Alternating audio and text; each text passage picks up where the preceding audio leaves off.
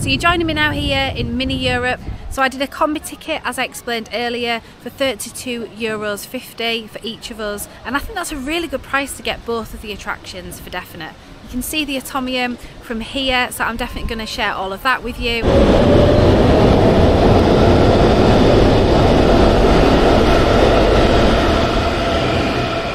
And it's going to take us to the Atomium and I keep referring to it little sorry I said little Europe.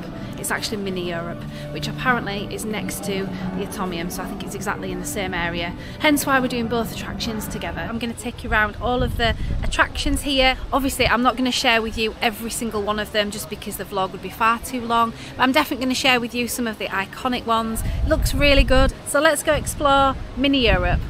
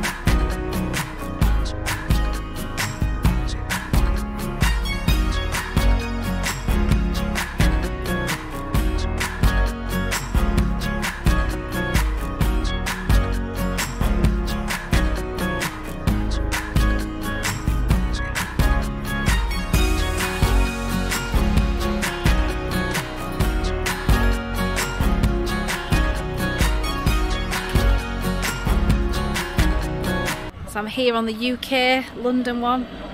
Listen.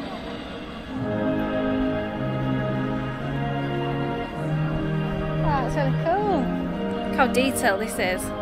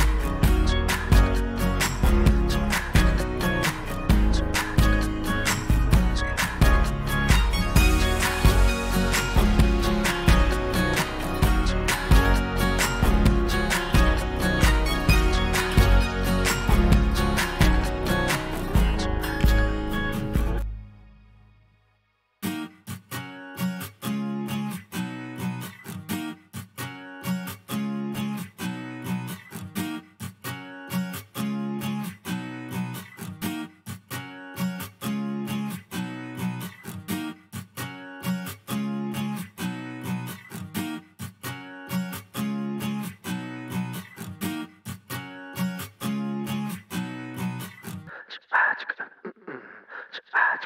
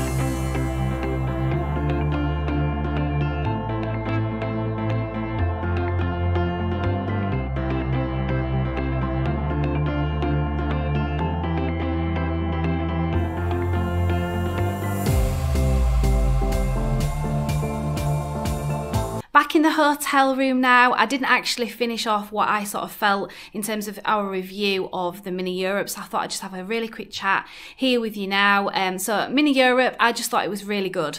A really good day out, and I think definitely for children as well, even for adults. I mean, we were obviously just, you know, a couple going on our own, but it was really interesting knowing a little few facts about, you know, different places um, and just seeing everything, you know, all the different attractions there. You definitely need a good day for it. Obviously, you can't control the weather, but had we have been doing the attractions of the Atomium and the Mini Europe today, then it's raining. So, you know, it wouldn't have been as good. So, definitely, if obviously, if you can, I mean, if you're booking things ahead like we did, you just can't guarantee the weather. It's always better if it's sunny or, you know, at least dry because everything there is all, you know, to see. It's not, nothing's really undercover or anything. So, it would definitely kind of ruin your experience of it. But again, you can't control that. So, we had a wonderful time at Mini Europe. Highly recommend it. And definitely the combi ticket that I've been talking about uh, with the Atomium attraction as well is definitely highly recommended. That would definitely be a top tip from me in terms of doing that together because I think you save that bit of money and getting those two attractions for that price, I think is really, really good. So definitely Mini Europe was definitely unique, you know, really interesting in terms of an attraction. So I highly recommend that. This is a five star hotel if you're interested. I'm not sure which way around the videos are going to be, um, but definitely if it's not already on the playlist, it will be coming up next. So definitely check out my five star hotel um, review here in Brussels. Le Plaza Hotel is what it's called. And I've also done a food and drink video. Again, it might already be on the channel or it might be coming out next. Definitely check that out as well. That's our top five things um, to eat and drink here in Brussels. We've had a wonderful time in Brussels. We'll definitely return. And next time we might come here with Emily, obviously our teenage daughter. If you're new to our channel, you won't know who Emily is, but she's the other half of the Brownie Life, our teenage teenage daughter. This was just a couple's trip. We've just been here for a couple of nights, you know, a couple of days, and it's been absolutely wonderful. We've thoroughly enjoyed our time here in Brussels, and we will definitely return. It's a beautiful city, really loved it, and as I say, we'd bring Emily next time. Definitely subscribe to our channel if you haven't already. Give this video a really big like, and I'll see you on the next one, everyone. Bye.